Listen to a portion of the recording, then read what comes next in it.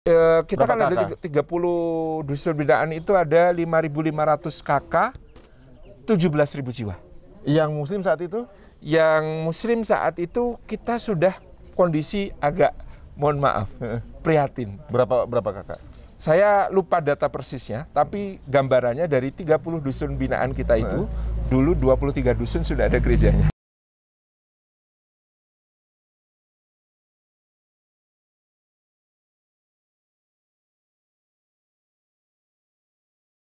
Assalamualaikum warahmatullahi wabarakatuh. Pemirsa Lereng Merbabu itu dulu Kristen dominan sekali. Ya dalam 30 kampung saja itu ada 20 gereja. Akan tetapi dengan hadirnya aktivitas dakwah dan kemudian pesantren masyarakat jadi judul pesantrennya itu memang pesantren masyarakat dan sudah barang tentu dengan gigihnya para mubalik, para dai dengan perencanaan yang matang sekarang gereja itu tinggal tujuh. Ya isinya berapa kita tidak tahu. Tetapi yang jelas juga rakyat ya yang ada di sana di lereng Merbabu yang juga terdampak dari letusan Merapi ya itu ya luar biasa. Dulu satu kampung ya yang terdiri dari apa mungkin ratusan kakak dan lain sebagainya yang Islam itu mungkin hanya ada lima kakak. Jadi mayoritas itu betul-betul sudah ke Kristen dan seterusnya begitu. Dan sekarang itu sudah mulai paru-paru. Sudah ada 45 uh, binaan sudah masyarakat dan seterusnya. Ini adalah bentuk-bentuk dakwah yang luar biasa. Dan ketika apa terang itu datang kebenaran itu datang maka kebatilan akan lenyap. Ja'al haqu wa zaqal batil inal batila kana zahuko seperti itu pemirsa.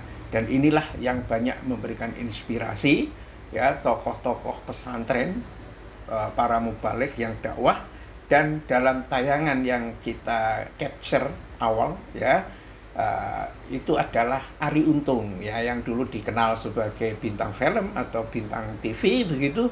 Saat ini banyak menghabiskan waktunya untuk kegiatan dakwah ya bersama istrinya juga punya YouTube yang bagus gitu channel YouTube yang bagus dan eh, memberikan banyak support ya eh, dengan berbagai atau eh, komunikasi dengan berbagai institusi dakwah yang lain dan hasilnya memang luar biasa. Pemirsa eh, beberapa waktu yang lalu kami juga pernah mengunggah satu video berkenaan dengan merbabu.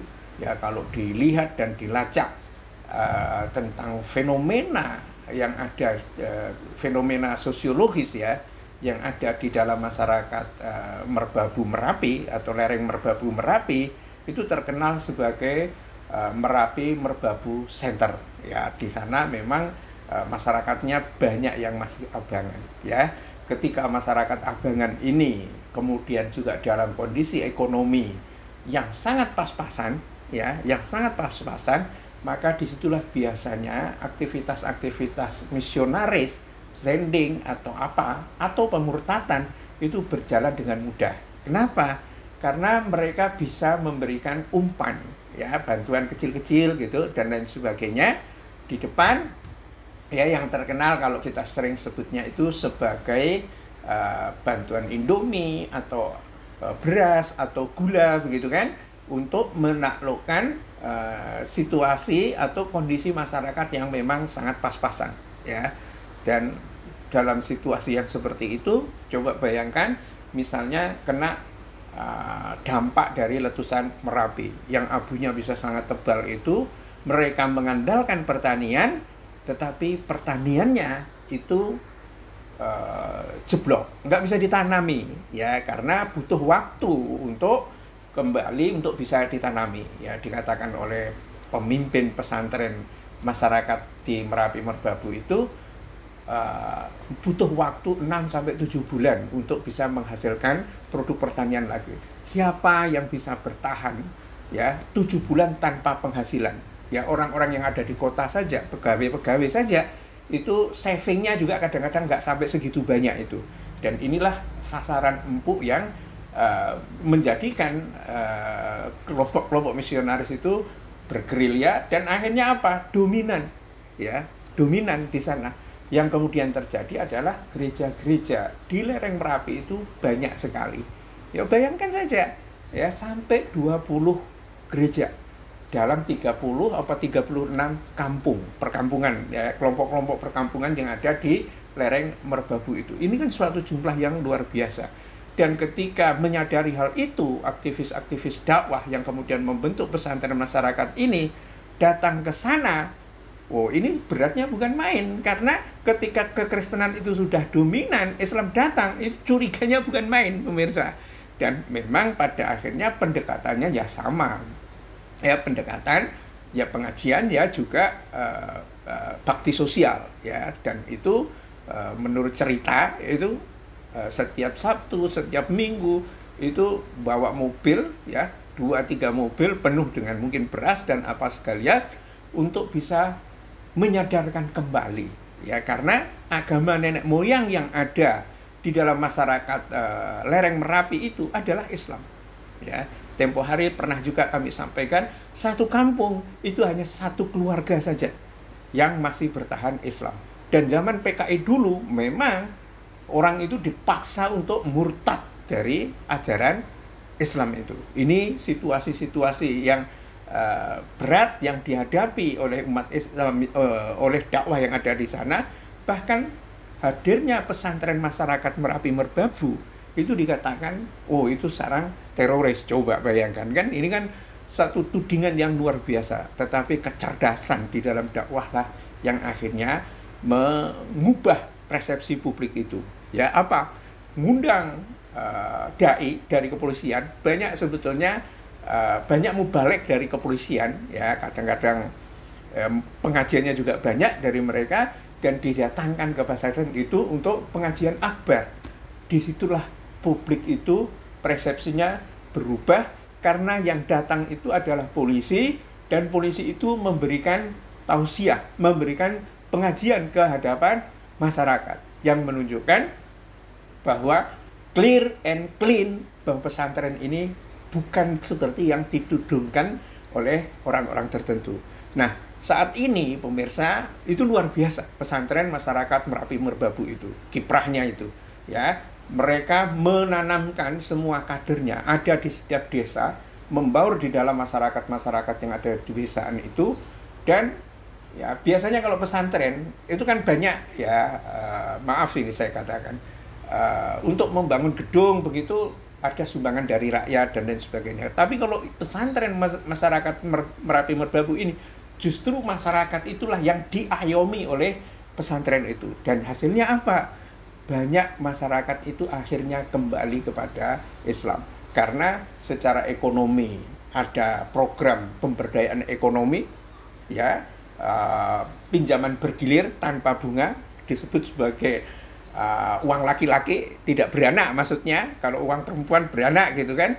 Karena di situ juga dengan kemiskinan itu juga sarangnya para rentenir ya. Ketika dakwah Islam belum menjangkau tapi dengan dakwah Islam itu akhirnya semuanya terhandle dan kemudian sangat uh, apa nama simbiosis lah dengan pesantren itu dan dalam waktu 10 tahun ya itu pada akhirnya jumlah dan uh, masyarakat yang kembali ke Islam itu sudah bejibun banyak ya.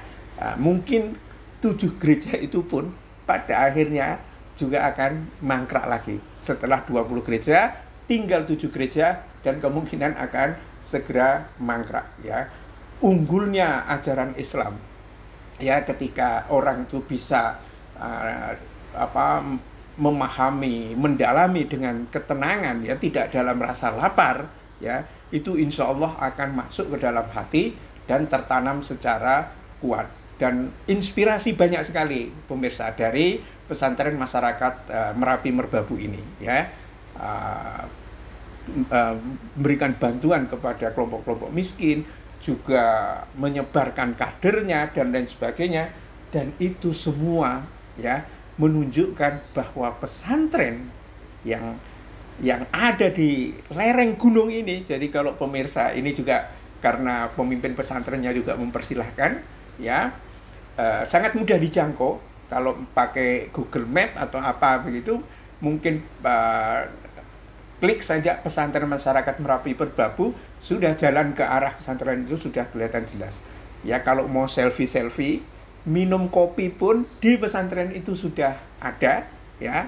Para santri sudah bikin warung kopi itu dan memang belanja ke masyarakat dan lain sebagainya itu eh, keakraban itu akan menjadi luar biasa ya pada dasarnya ketika umat Islam itu eh, apa kesadaran Islam itu tumbuh di desa-desa masyarakat desa itu ramahnya bukan main dan terakhir ketika masyarakat itu sudah mulai berdaya ya rencana misalnya pesantren masyarakat Merapi Merbabu ini mau kembali untuk membangun pesantren putri, rakyat sudah mulai bilang masalah sayur mayur kami yang akan handle. Bayangkan ya, artinya tinggal modal beras saja, sama mungkin daging lah ya kalau ada. Tetapi juga ini juga e, masyarakat di seluruh Indonesia ya yang pada akhirnya e, apa namanya memberdayakan saudara-saudaranya itu. Jadi e, pemirsa sekalian ya tanda-tanda kebangkitan Islam kejayaan Islam itu memang sudah benar-benar luar biasa. Tidak hanya di kota-kota dengan masjid-masjidnya yang megah, sementara gereja-gerejanya sudah mulai kumuh, mulai mangkrak ya, ditinggal jamaatnya, tetapi desa-desa yang dulu dikuasai oleh kekristenan pun sekarang ini kembali menjadi nuansa Islamnya menjadi sangat dominan. Bila taufik wal hidayah. Assalamualaikum warahmatullahi wabarakatuh.